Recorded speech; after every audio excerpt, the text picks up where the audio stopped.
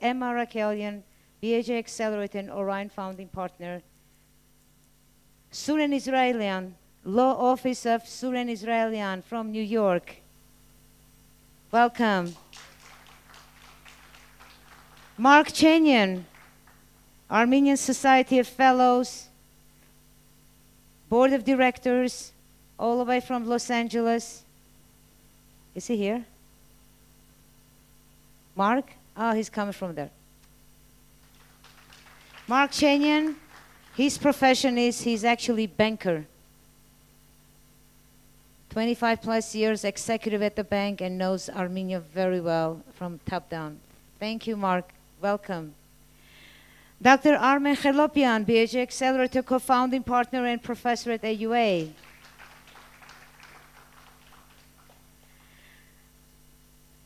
Dr. Vahan Ter-Ghevondyan, I'm so happy with this introduction. Director of Matenadaran, welcome. Gayane Arakelian, Director at District Foundation for Entrepreneurship and Sustainable Development, Digital Pomegranate from Gyumri. And Anthony Unjian was invited. He's a managing director and senior partner at Boston Consulting Firm from Philippines. He's actually running the big business there. Unfortunately, he was called in Miami to be in a partners meeting. However, we have a message from him. Philippines is very symbolic. We actually put some time to get Philippines onto the stage or to be on this, on this panel because the Digital Julfa, 300 year old Armenian merchants' powerful network, was running trade from Amsterdam to Manila, Philippines. Now you know why. There was a mission there. Now we are standing up Digital Julfa Network as an evolution to global level. With diaspora, we are stronger. With innovation, we are stronger. With culture, strongest. And trade, we have to work on that as the key drivers. So I'm going to join the panel. Let's applaud the panel.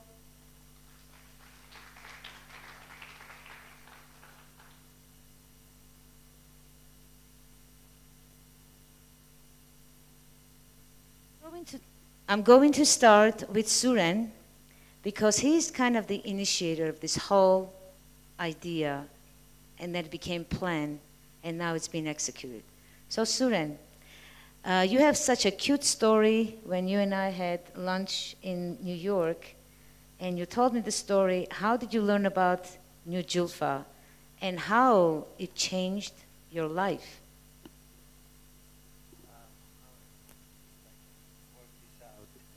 Uh, okay. Um, I was uh, born and grew up here in Yerevan. Uh, I was 22 years old when I, the wind blew me to the New York, and I, uh, the rest 31 years old, I was living in New York. At no point in time I ever heard of about Julfa Armenians. And in about four years ago, I was in El Nido, Palawan Island in Southeast Asia, in a small airport. You cannot even call an airport. It's one runway with the one shack waiting for an airplane to come to pick us up. And there was a little bookshelf there. While waiting, I pulled a book on uh, Singapore. And I fl- start flipping through the book. And on uh, page five on that book, there was a photograph from early 1900s, 1904 or 1905, black and white photograph of a, uh, of a person, white person, look like the, from a Monopoly guy in a little uh, carriage with a person, actually a local, uh, half naked, pulling the carriage. And behind it, there was a big, beautiful building. And on the bottom, there was an inscription that says, Raffles Hotel built by the Sarkies brothers, Arshak, Martin, uh, Aviet, and I forgot the fourth brothers' name. And I'm like, uh, who the hell are these people? That built this hotel in 1887 and opened on the first day, on the birthday of the Queen, of December 1st.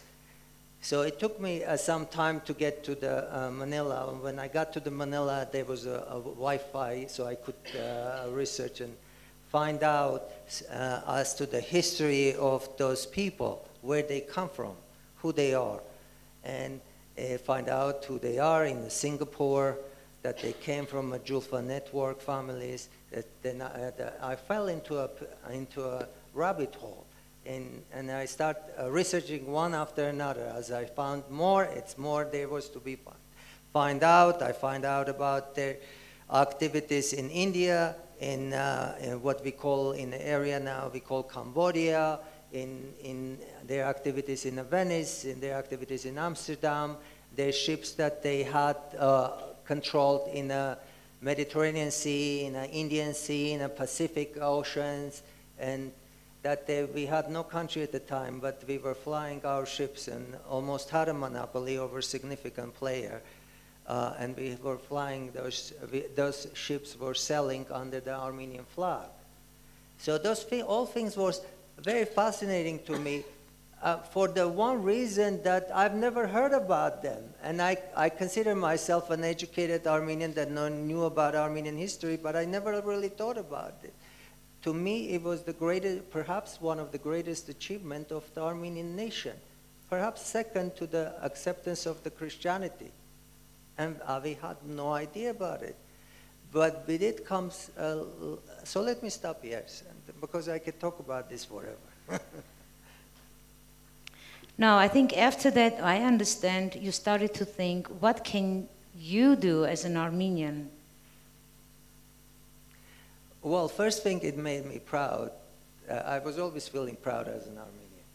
But it made me tremendously proud to know that we as a nation contributed to the significant advancement of the human history.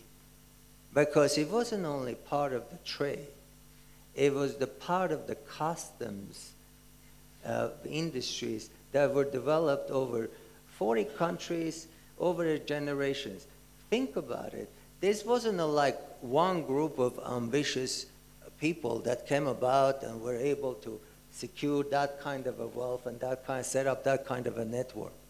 They did this. They maintained this significant activity over generation and generation, over a hundred years, over 200 years. And you cannot achieve anything like that without a vision and without a discipline and without without certain tools. So, mm, and I thought perhaps this is where we should draw what our strengths are and from the wisdom of our ancestors of the past. Because when we look at the history, when we study the history, the most important thing we want to learn from them. We want to learn so that they, what they have done right can guide us in our pursuits of today and tomorrow. Thank you, Suren. And as of, as of that time, actually, we started so many projects together and more to come, and this is one of them. Um, let me go to Armen Kherlopian. Armen, uh, it took us only two meetings and a book we purchased about the, uh, the New Julfa. And then you came up with this name. So question one, how did you come up with digital Julfa name because we're going to say it's trademark of yours now. And second, how do you think, you being a scientist and data scientist and also investor, how do you think you and your type of network can help to, to recreate this digital Julfa? Thank you, Emma. And indeed, I've had actually those several hours of conversation with Suren as we learned about our history. And indeed, I similarly, like Suren, was shocked to have little knowledge of this time in our history.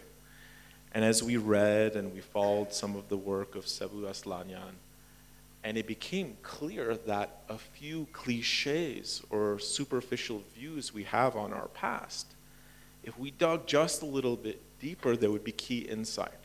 So we know that the Shah around 1500, brought a group of Armenians where Nakhichevan is today, to Isfahan. Okay, they're there, there's a hole in the geography now. But the timing is absolutely fascinating and involves technology. So the Armenians of Old Julfa by 1470 had already made their way to Venice. They had already begun to understand some of the sailing innovations from the Portuguese. And so we have record that the Shah, as he's warpathing north, is welcomed by the old Julfa Armenians.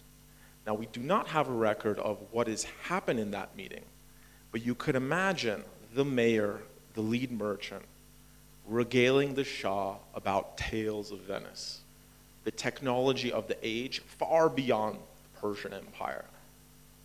And so, after the visit, the Shah proceeds north, sieges Yerevan, marches west, and has repelled by a superior Ottoman force. Essentially, on the way back, he says, the Armenians come with me. And it was because, with that context, it was the Armenian awareness of technology, the Armenian awareness on ability to migrate and to interact with different cultures. And eventually, the network spanned all the way from Venice, Amsterdam, Manila, even Acapulco in the New World. And this led to a type of capability that was profound. One merchant befriended the Dalai Lama to secure the gem routes. In Spanish controlled Philippines, the British flew the Armenian flag to land in the port. And so it became very clear from that time, from that international collaboration, the capital mobilization for trade. We are essentially doing the very same thing now, all of us. But it's not the silk trade, it's the trade, so to speak, of startups and something that can sustain our nation across country boundaries. So, with that, we go from old Julfa to new Julfa to present day digital Julfa. Thank you, Armen.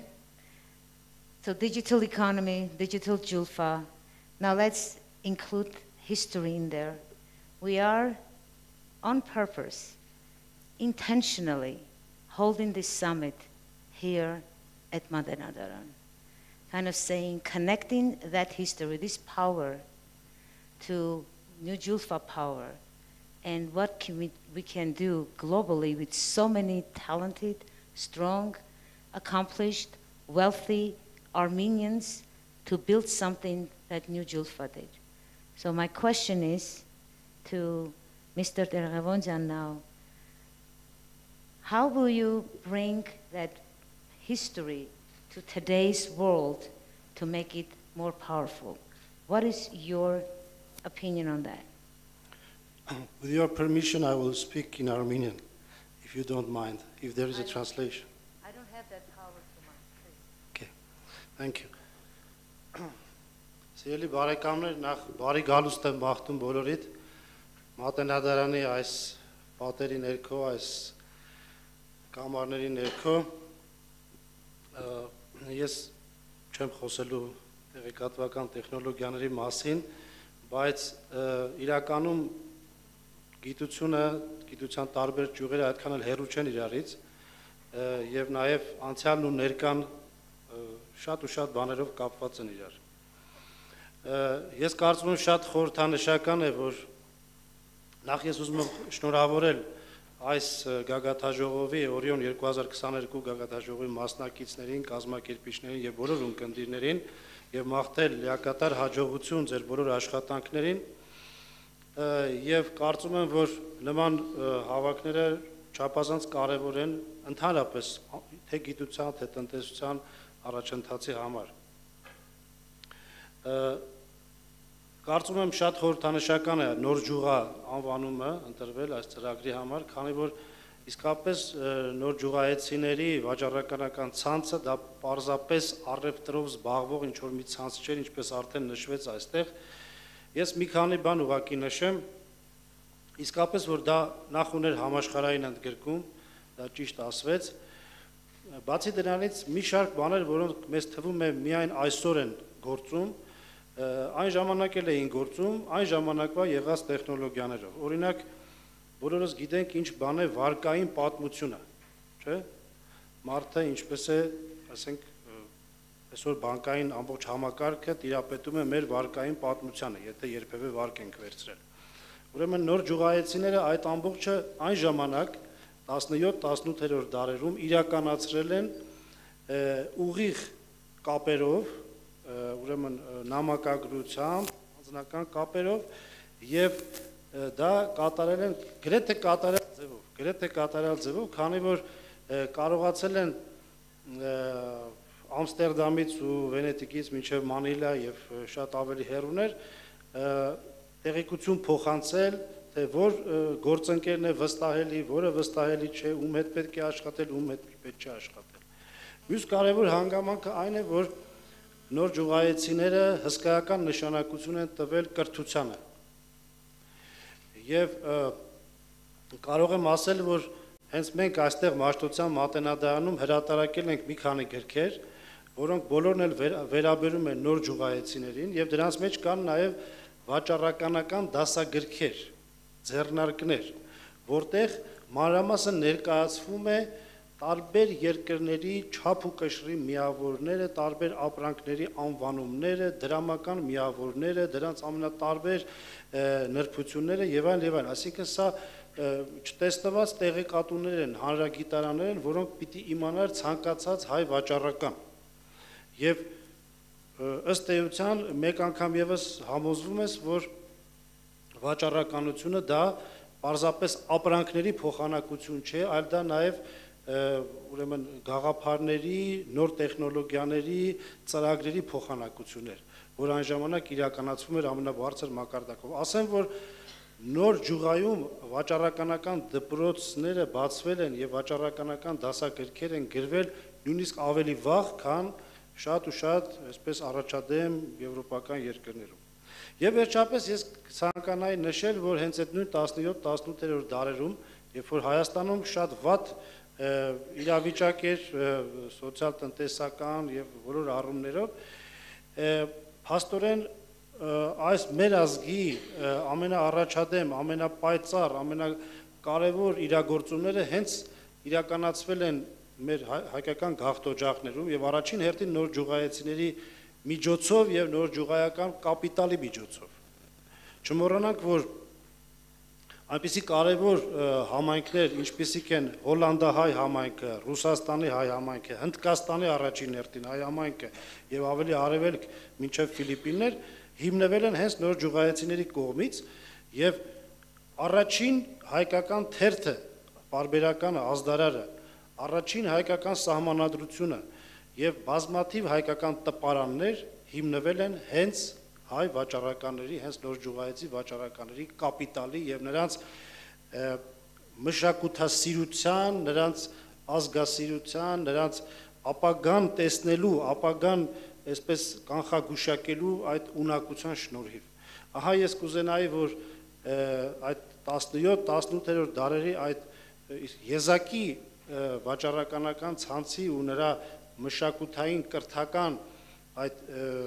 ուղղվածության նոր արտահայտությունը տեսնել այսօրվա թվային նոր ջուղա ծրագրում եւ կարծում եմ որ այդպես էլ կլինի շնորհակալություն Shnakaltun, thank you very much. I think the message here is that it wasn't just the trades and merchants, as Suren and Armin tried to uh, explain, and Mr. Deravonjan confirmed with his deep knowledge in that history and in that part. So thank you so much for, we have three confirmations of the why digital Julfa will make sense to do it today because it's about policies, about trade, about education, innovation, and plus technology and all these technologies that exist today. So we have better chance to establish this today than we had, uh, ever had that opportunity. So with that, I'm so proud to share what Mark Chenyan is going to tell his story because digital Julfa is already happening. So, Mark, question to you.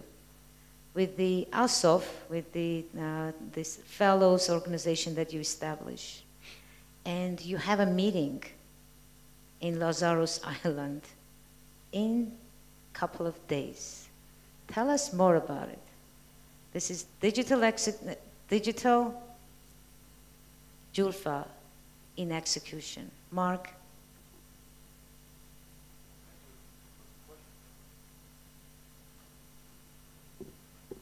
Thank you for the question and the opportunity to talk about ASOF. But before going to ASOF, I would like to raise a question regarding the Julfa trades and so forth. It is very interesting that with all the successes that we had in those years or centuries, we actually didn't have a Rothschild. It's a question that why we didn't. And I do think that that is something that we should all examine so that with second opportunity that we have now, okay, build on it and go beyond, okay, and not just uh, the Julfa model as it is. It's just interesting question and intellectual one. Regarding ASOF, it was as early as 1974 where the Los Angeles community was growing from different parts of the world, but primarily from the eastern basin of the Mediterranean. People were moving over to the United States. A little bit later, the both sides started coming in. In 1978, the Barskahais came in, and so forth. So it, it's a community that suddenly exploded. And by all means, it was also a community that didn't know what to do with it. At that time, my primarily uh, concentration was Armenian education. I believed in Armenian schools, but not the Middle Eastern modern of Armenian schools, which in Armenian they call it Askaim Varjar. That's not what I thought was needed in Los Angeles and the rest of the United States, but the concept of private schools that we have in the United States. Obviously, that thing couldn't have been achieved overnight, but it was important to move into that direction. When the waves of the 70s, mid 70s, late 70s came in from the Middle East and so forth, somehow the, the community lost direction and things became too much, uh, I would call the original Beverly Hills, which is Busham. As much as I was writing white papers, you're a voice rather than a, you know, a mass. And hence, at that time, I also discovered the Hoover Institution up in Stanford University, which immediately I tried to get me a fellow. I was accepted. And I was attending what was happening at the Hoover and how the modus operandi, how they were doing it, the task forces, and so forth. And I really got convinced there is a missing element in Armenian reality. At that time, obviously, I was talking about our part of the world in the diaspora. But after 1991, I also was thinking about our Academy of Sciences over here in a way to convert it into a think tank. Unfortunately, it was not very well accepted, but that's a side story. But all along, the thinking was that pre 1991, well thought out ideas, plans, needs, assessment, and so on—just like you do it in business, should have been done so that the limited amount of capital, the Armenian capital, what was available, is efficiently put together rather than haphazardly somebody gives you a land, you build a building on it, and so forth, and then you find out 25 years later it was the wrong thing to do. We just don't have the United States' printing money facility and so on. So we have to be that. And therefore, I constantly looked at possibilities of how you create a think tank. And eventually, about a year ago, probably because of the 44 days, a group of top-notch, a group of top-notch academics, scientists, and so forth got together, all voluntarily. It was just one telephone call and everybody joined. And we created this Armenian Society of Fellows.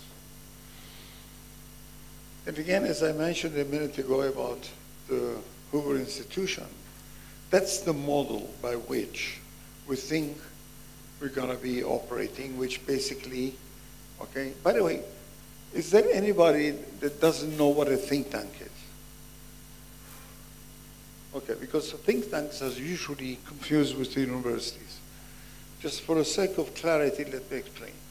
University, universities are product-driven entities, which basically means that if you're a medical school, you produce doctors. You're a law school, you produce lawyers. If you're an engineering school, you produce engineers. This, that's a product. A think tank is a market-driven entity. The marketplace asks you, okay, I have problems, quote unquote, and as you know, things are so complex that a single discipline doesn't answer anything. It has to be multidisciplinary. And that's exactly what the function of the think tank is. So in the diaspora, we have our own issues. Coming to Armenia, my thought was the following, that somehow during the last 30 years, okay, practically all country or national decisions and so forth was somehow got delegated or migrated and so forth to the government. And the government was the one that was just declaring things with very, very limited private sector input. And therefore, observing that, the thought was create a think tank somehow the think tank, and I know that that's true in the United States, will end up being the representative body of the private sector. And therefore, the thinking function and so forth, the analysis, is not just the domain of the government, but also it's a domain of the private sector, okay, done by the elites, qualified, multidisciplinary, and so forth, and therefore have a serious, healthy debate what should be our policies, options, and so forth. But thought out in detail, in advance, is an important element for nations like ours, where we do not have the luxuries of printing money or numbers or concentration and so forth. So, in a way, ASOF's primary function is to analyze, observe, select, and so forth, issues that should be addressed, put them into the arena, and accordingly study, and with our limited resources, end up investing or moving into directions that it makes a lot of sense. If you recall earlier this morning, I said that sometimes you really do not have good decisions. But what you do is you eliminate the least probable ones, those who have higher level but not necessarily guaranteed, you pick it up, you start moving, and in the meantime you do your course corrections. It eventually end up with the right answer to whatever problem is. I hope I was able to uh, basically give the idea. You did, Mark, and I think uh, the the key part of this explanation is how do we build stronger private sector along with the stronger government. But the private sector, with the ability to solve problems that can be done only because they have the knowledge, as Mark said, and the key part of the outcome of the think tank is advocacy. Uh, they resolve some issues that we have, let's say, related to specifically to us, to lands and to history, to Armenian identity. This is the group that's going to start answering those questions globally, to the government's level, to the top universities level. Mark, you, uh, you, uh, uh, you shared with us earlier that um, it's 156 top scientists from top universities, top organizations worldwide in 30 disciplines.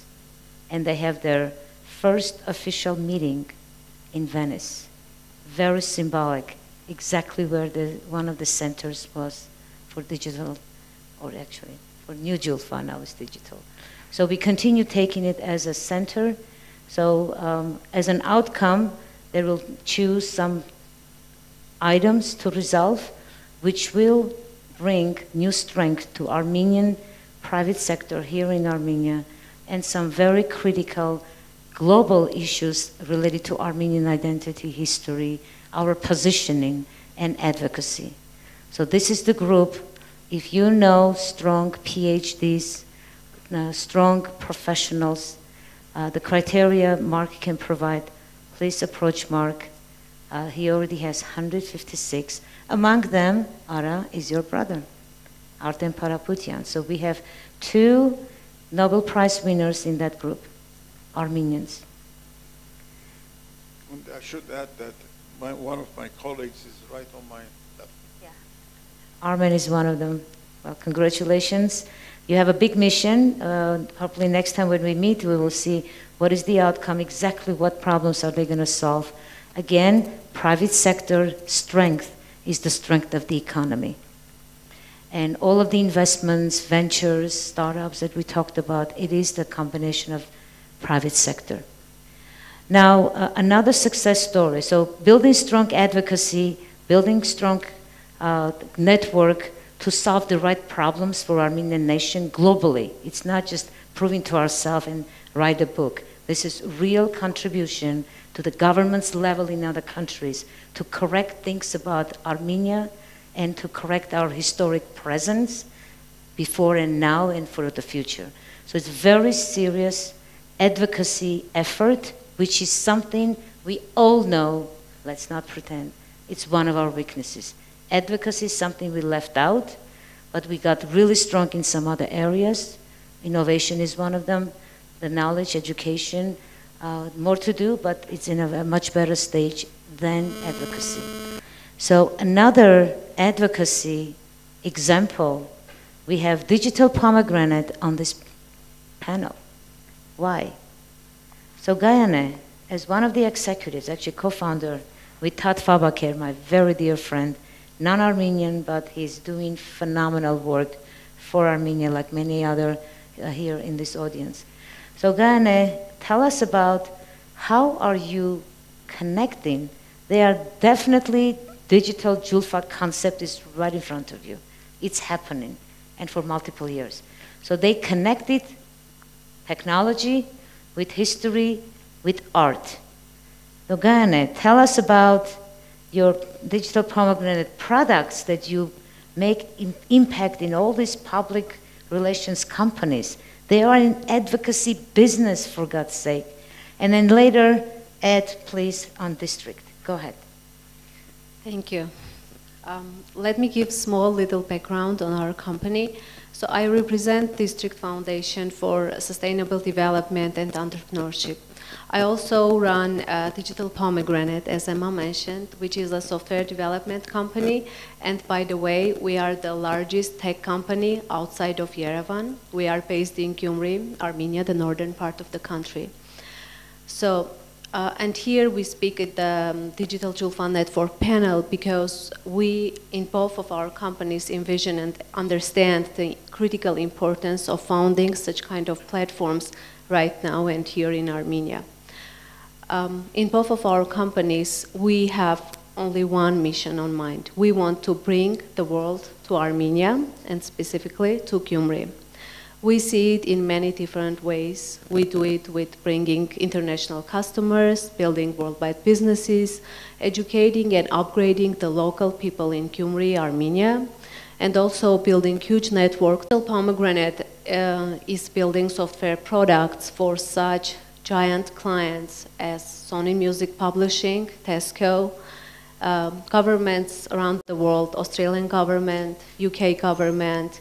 We build software products for international universities, including Tokai University in Japan. So this is how we take the creative mind.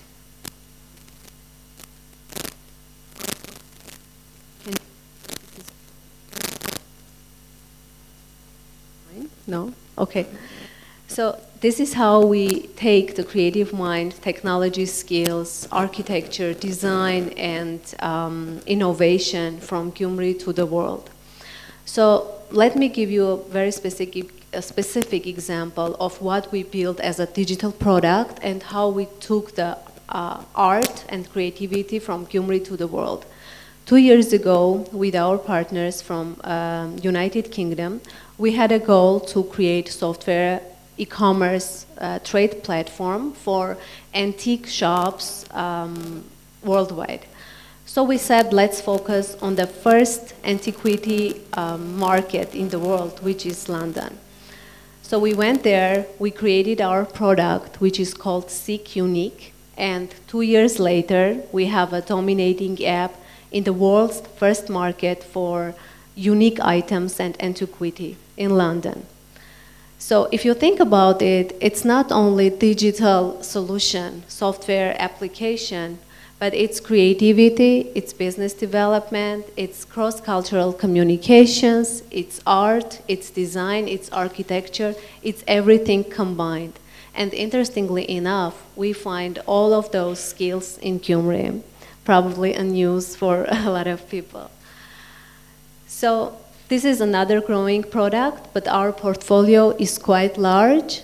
And um, should I pass to the introduction of district so that I don't, do not confuse uh, the audience with digital pomegranate and the district? So being a software development company based in um, actually one of the most challenged cities in Europe, Gyumri. I don't want to say one of the poorest, but unfortunately that's the case. And basically we have a mission to definitely change it. So how we do that? 10 years ago, when we were starting our company, Digital Pomegranate, we have picked this name of the pomegranate as our brand name, though a lot of people were like, it's too long as a company name, bad brand maybe, but still it had a very interesting background history. So pomegranate is a fruit full of hundreds of seeds. And if you leverage the potential of each seed, there is a huge chance every seed can become another pomegranate. And uh, probably the district idea of building a sustainable community in Gyumri was one of the most powerful seeds inside our little pomegranate. And that's how we came up with this idea. So district is um, um, ecological technology uh, smart community. It's a physical location near Gyumri, only seven minutes drive from the city center. And it's an, a mixed hub of innovational business, environmental apps, resident, residential houses, it offers affordable, um, affordable housing, um, offices. Uh, it is both for tech and non-tech people. And most importantly that I want to focus on, it is um, SDG compliant, Sustainable Development Goals by the United Nations. And we have 17 goals that we need to follow to stay fully compliant. It's no poverty, quality education, gender equality, sustainable uh, living, most importantly, decent work and economic growth. So we have chosen to stand for uh, regional development in Armenia, regional economic development.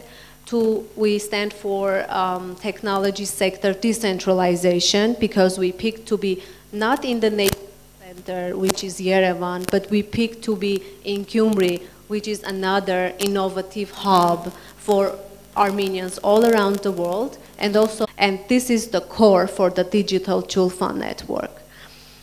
And we are going to achieve all of the 16 sustainable goals with the help of international network, communications, and partnerships. Thank you very much. So this is already happening, and uh, you may actually visit their website to see what kind of art, combined with old Armenian designs, and how they are combining it with new products and presenting it to the world in uh, many countries, which comes with distributing Armenian culture, uh, distributing art through technology. So it's all combined. That eventually equals to advocacy. They know us. They know how to work with us. They know how to partner with us. So the partnership absolutely is the key to build wealth and advocacy. So I'm going to ask each panelist in one sentence to say two things. How to join what you are doing or what is your next step you're going to do to take this digital Julfa into a project. Surin, I'll start with you. Well, the vision. The first and foremost, I think, is the vision. If you don't have a vision, you're like a log in a, a river. It'll hit on this wall, on that wall, and go on into places. Have a vision and a longer vision. Uh, so that will be to put together a vision and then execute it. Let's move on to Mark.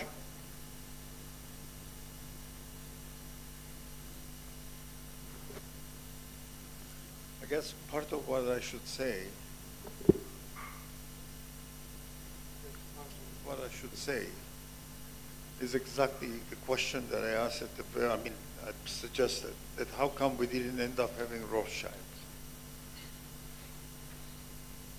Regarding the diaspora, at the beginning in 1991, there was a major misconception by this country what the diaspora was. And there, we, there were a lot of mistakes, just like the diaspora had a lot of misconceptions what Armenia was. But one of the most important things about the diaspora, and that's important for all of you to know that, especially the locals, is this that the success of the success of individuals, and we collectively have failed to transfer the individual successes into a national success, a collective success. That's a major failure. And when I said the word uh, Rothschild, Rothschild is not just one name. It's a whole generation, a whole network. And therefore, I do think that through a lot of thinking, whatever the instrument of thinking you would like to use, as we do things, we should also analyze to death to find out how we can make a difference and become relevant for the rest of the world. Our recent history, and actually you can go all the way centuries, one of the big problems that we have had, and therefore always being a small nation, conquered, occupied, and so forth, is simply because we were not being able, okay, brilliances, okay, to network them together, and most important of all, be relevant for the rest of the world.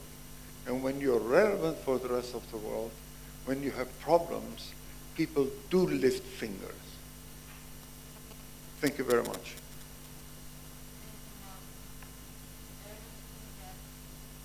Let's move on. Armen? My pleasure. In terms of this question on how to engage, you know, to draw analogy from the old Julfa network, there was something known as the Commenda contract. The merchants out at sea in far-flung cities had backers. And so what we have currently is something analogous, not called a commenda contract, but a safe agreement, simple agreement for future equity that's penned between angels and startup founders. So if you are a new angel, if you are an existing angel looking to get stronger, by all means find me, find Emma, find Artur, find Samson. We welcome your engagement. Thank you, Armen. That was very precise. Well done. Next, uh, Mr. Terevondian. Եզրափակիչ խոսքը նույնը պիտի լինի։ Ներկա լինել ամենուր, եթե դա հնարավոր է, լավագույն գաղափարները յուրացնել, օգտագործել լավագույն գաղափարները, դրա հիմա վրա ծնել նոր գաղափարներ եւ ունեցածը մտավոր նյութական կարողությունները ծառայեցնել կրթության ու մշակույթի զարգացմանը, ապագայի հիմքերը ստեղծել։ Սա է գլխավոր դասը։ Շնորհակալություն։ Շնորհակալություն, Գայնե։ So I think we can um, happily announce that we have uh, district as a physical stop for the digital Julfa network. Uh, digital and um, everything online is wonderful, and being connected, even if not physically together, is wonderful. But still, we believe that the network will eventually need some kind of physical stops and physical locations, hubs to host all of these people and all of these minds together. So we are happy to say that district would be great stop for the digital Julfa network whenever it wants some kind of physical meetings and physical uh, gatherings. Um, I also want to mention something about what we do uh, in Gyumri in terms of providing platforms to communicate with different countries and cultures. Interestingly enough, we had a very similar idea with uh, building a digital Silk, Road platform. Um, Gyumri is a sister city with Xi'an in China, and we have opened this platform for the two cities to communicate more effectively, to build bridges, and to do business together and trade together. So I think we already have some good practical experience and examples, and we will be happy to host everyone interested in the district. Come visit us. We are in Gyumri, and you can also visit the website district.am with K. Um, so eh, we have three options with partnering with us, investing with us, and also hiring us as technology team. Um, I think that that's, that, that's the overall goal of the Digital Julfa network. Thank you so Thank much. you. So more options, opportunities for partnership and a global partnership. I think the fascinating part is everybody sitting here has is bringing the global perspective, global relationships and partnerships. So Armenia, let's partner, let's create wealth and advocacy. With that, thank you so much, panel. You've been amazing. Thank you.